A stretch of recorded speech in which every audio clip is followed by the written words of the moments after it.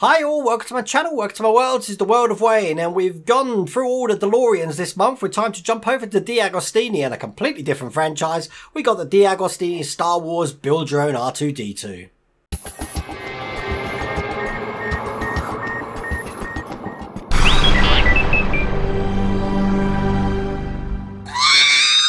Okay, peeps, we are on issue 17. So let's, without further ado, let's see what this looks like. Uh, here's the magazine here. Uh, little bits and pieces about some of the villains and the, uh, like Boba Fett here. Um, all about Boba Fett. Uh, more about the droids, stuff like that. Uh, this is the bit that we're getting to though. What we've actually got to do. Now this is only coming with three parts and I don't even think we're going to be doing any of these electrics. So theoretically, it's only one part. Um, by the look of it, we're fitting one part to uh, the dome, or two parts to the dome, two parts to the dome, no, one part to the dome. That's it. That's all we're going to be doing. So uh, what we do then is uh, we'll bring this along. This is the dome here. Look, uh, can you see that? There you go. Uh, I'm going to take it off this little stand that it's on, uh, just so you can see it a little bit better. There we go. That's looking just like that. And uh, I'm guessing the next bit's going to be going uh, somewhere probably on the right hand side of this here. Uh, from the top there. It's going to go on here. But I don't know because I'm going to look at the instructions. So uh, let's see what they have to hold. Uh, this is the pack of goodies that we've got here. Issue 17. So uh, get these open. Right, it, we definitely aren't using the wires in this one here. So I'm going to keep those to one side for a minute. Uh, and all we have got is just this little bit here. That's it. Just this little bit over here, which is going to go uh, pretty easy enough, just to the right hand side. Hold on, let me just see. Uh, as a matter of fact, no, they're... Yeah, they're putting it on this side. Yeah, that is right. Worry me then for the pictures. So that's going to fit in there like that. Uh, just with the usual nuts that we used last time. Uh, I've got my nuts, I'm going to put this to one side, just up here. Um, I've still got them left over from when I built the uh, R2-D2, and obviously we know that they are the smaller nuts, these ones here, and the smaller of the silver screws. Um, they haven't gave us any more screws in this, just so you know. And the only screws I've got left are these ones here, so it's definitely going to be these. And I think I'm going to need three of them by the look of it.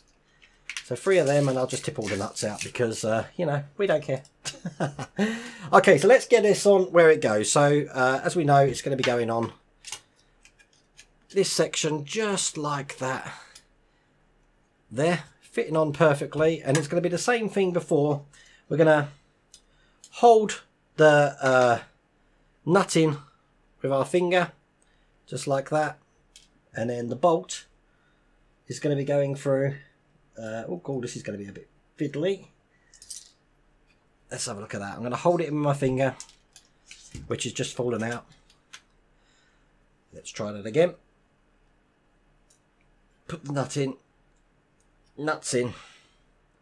Right, the bolt is going to be going into the metal, and this is going to be a little bit tricky to put on unless uh, I might have to magnify my screwdrivers up again because I think, yeah, this is going to be a little bit tricky if you haven't magnified your screwdriver up. Because these little holes here are quite deep in the unit here. And the second time I've just tried there, it's just fallen out again. So let's have one last time.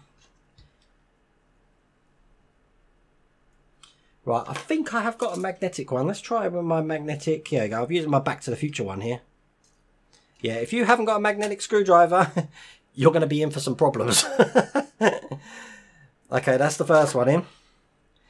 And the second one, oh, it is only two bolts that are holding this in, two nuts and bolts that are holding this in. So again, I'm going to use my trusty, trusty Eaglemoss uh, screwdriver to pick these things up and put them in.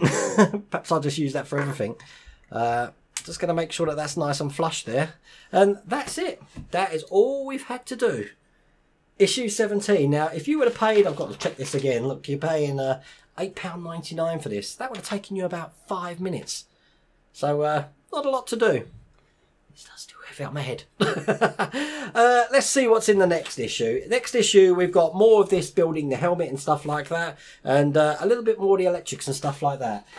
bear with me because you see, even though there's not much to do here, you just know that later on in the build there's going to be a hell of a lot to do. And unfortunately, we've got to get the boring stuff out of the way before we can get into the really exciting stuff, which is the electrics and stuff like that. So that will be coming, uh, and that's probably coming in either 18, 19, 20 or 21, which I've got to do shortly. But uh, other than that, that's all we've had to do. Apart from that, we could uh, stick it on the stand, I guess. And let it spin. Take care.